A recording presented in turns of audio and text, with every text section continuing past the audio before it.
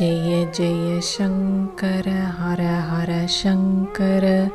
தெய்வத்தின் குரல் நான்காம் பகுதி ரவை சல்லா உவமை. திருப்பதியில் ரவை சல்லா கட்டளை என்று பழைய கால ராஜாக்கள் ஒன்று வைத்திருக்கிறார்கள். தற்காலத்தில் அத்தனை அசுத்தத்துக்கும் கோயில்தான் இடம் என்று ஆக்கியிருக்கிறோம்.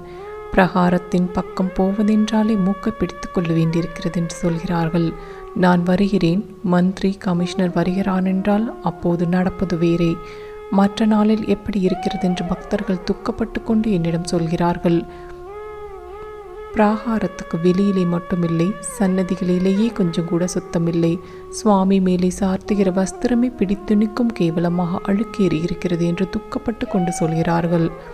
இதே தேசத்தில் நம் முன்னோர்கள் மனசுக்கு பரிசுத்தி தர வேண்டிய ஆலயம் பூரத்திலும் பரம சுத்தியாய் இருக்க வேண்டும் என்பதில் கண்ணும் கருத்துமாயிருந்து அப்படியே நடத்தி கொடுத்திருக்கிறார்கள். அப்போது திருப்பதியில் ரவை சல்லா கட்டளை நடந்து வந்தது. ரவை சல்லா என்றால் டாக்கா மஸ்லின் மாதிரி நல்ல வெள்ளை வெளியீரென்றும் ரொம்ப மெல்லிசாகவும் இருக்கிற துணி மேலே போட்டுக்கொண்டால் போட்டு கொண்டிருக்கிறோமோ என்றே தெரியாது. உடம்பெல்லாம் தெரியும். நல்ல நைஸாக மெல்லிசாக நெசவு பண்ணியிருந்ததால் உடம்போ தரையோ எதிலே போட்டாலும் நன்றாக படிந்துவிடும். துளி ஈரக்கசிவு உடம்பிலா தரையிலோ உடம்பிலோ தரையிலோ இருந்தால் கூட அப்படியே ஒட்டி கொண்டு விடும் இப்படி அதன் டெக்ஸ்சர் இருந்ததால் எதிலே அது கொஞ்சம் பட்டுவிட்டாலும் அந்த அழுக்கு இதில் ஒட்டி கொண்டு விடும் அதோடு மல்லிகைப்பூ மாதிரி வெள்ளை வெளியேர் என்று வேறு இருந்ததால் அழுக்கு லவலேசம் இருந்தால் கூட தூக்கி காட்டிவிடும்.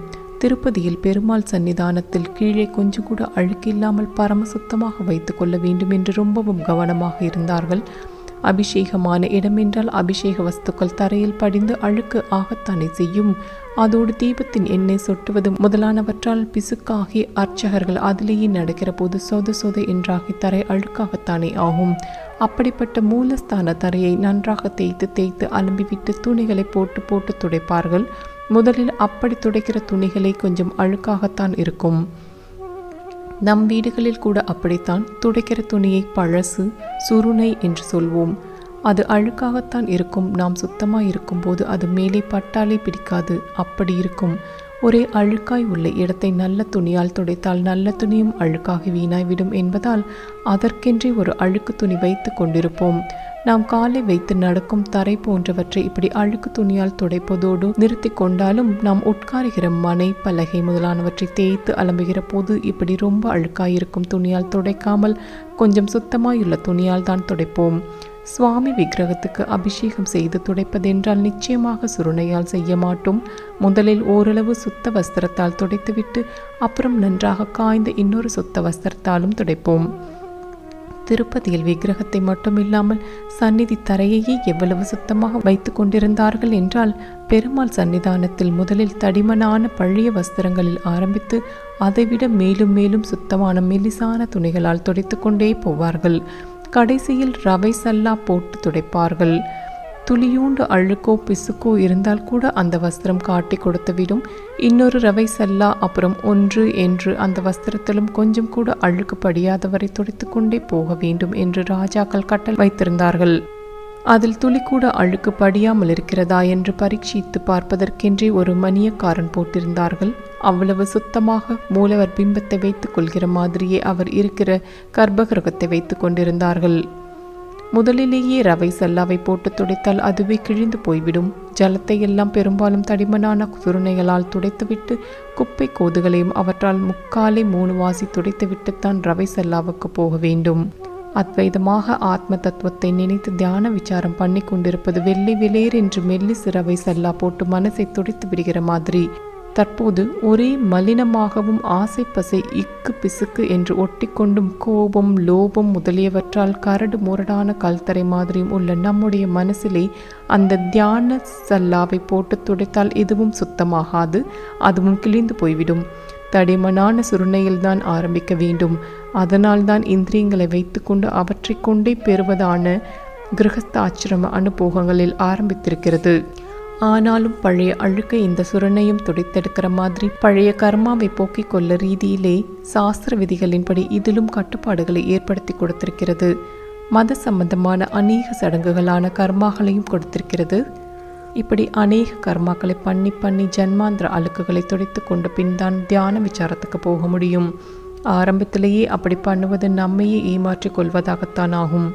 ஆனாலும் ஆரம்பத்தில் கெட்டி சுரணையை போட்டு துடைக்கும் போதே அப்படி துடைக்கிறவன் கடைசியிலே மணியக்காரன் ரவை செல்லா பரீட்சை நடத்துவான்.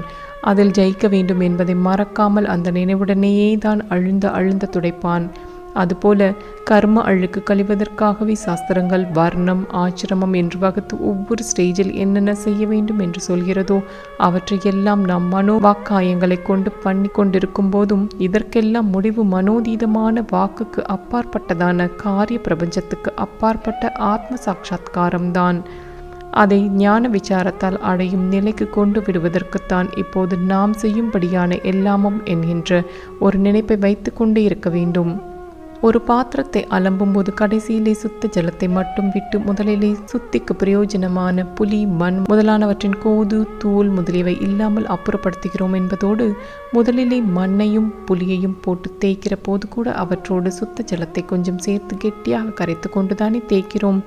அந்த மாதிரி ஆரம்ப காலத்தில் மனோ இந்திரியாதிகளால் கர்மாக்களை செய்கிற காலத்திலும் கூட ஆத்ம சிந்தனை தீர்த்தத்தை கொஞ்சம் இவற்றில் தெளித்து கொள்ளத்தான் வேண்டும். ஆரம்பத்திலிருந்தே அநேக கர்மாக்களுக்கிடையிலும் தியானத்துக்கென்று ஆத்ம விசாரத்துக்கென்று கொஞ்ச காலம் ஒதுக்கத்தான் வேண்டும். எது ஒன்றையோ நாம் தேய்த்து சுத்தம் செய்கிறோம் என்றாலும் இத்தனை கஷ்டப்பட்டு நாம் தேய்த்து அலம்பி கடைசியிலே சுத்தமாக ஆகிற அந்த ஒன்று சொம்போ தரையோ விக்கிரகமோ எதுவோ ஒன்று இருக்கிறதே அந்த ஒன்றை நாம் புதிதாக பண்ணவில்லை. அதை நாம் எதுவாகவோ மாற்றிவிடவும் இல்லை. அது இருக்கிறபடிதான் இருக்கிறது. அதன் மேலே சேர்ந்த ஆனால் அதோடு சேரக்கூடாததான வஸ்துக்களை நாம் போக்கினோம் என்பதுதான் நாம் பண்ணினதெல்லாம். இப்படித்தான் ஸ்வயம் சித்தமாக எப்போதும் இருந்து கொண்டிருக்கிற ஆத்மா அதன் சுவபாவமான ஸ்திதியில் பிரகாசிக்கும்படி செய்வதற்கே தான் செய்கிற சாதனையெல்லாம். அதன் மேல் படிந்து அதை மறைத்து கொண்டிருக்கிற மாயா சிருஷ்டியான மனசை போக்குவதற்குத்தான் அநேக காரியங்களை செய்ய வேண்டியதாயிருக்கிறது. மனஸ் என்கிற போது அந்த கரணம் வாக் காயம் எல்லாவற்றையும் தான் அதில் சேர்த்து விடுகிறேன். அதே மாதிரி காரியம் என்னும்போது மனசின் காரியமான எண்ணங்களையும் சேர்த்துத்தான் சொல்கிறேன். ஜெய ஜெய சங்கர ஹர ஹர சங்கர.